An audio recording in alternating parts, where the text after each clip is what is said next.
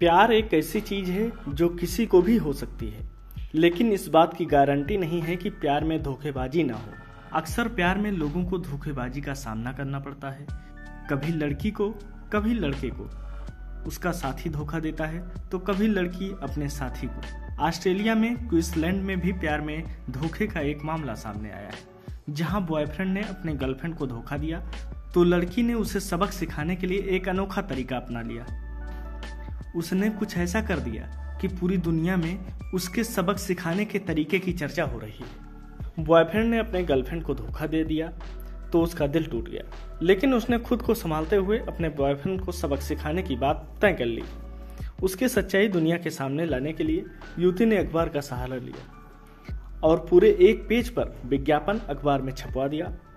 इससे मज़ेदार बात यह है कि विज्ञापन छपवाने के पैसे भी उसने अपने बॉयफ्रेंड से ही लिया। जिनी नाम की लड़की ने इस विज्ञापन में लिखा, प्रिय स्टीव, मुझे उम्मीद है कि तुम उसके साथ खुश होगे। अब पूरे शहर को पता चलेगा कि तुम कितने धोखेबाज हो।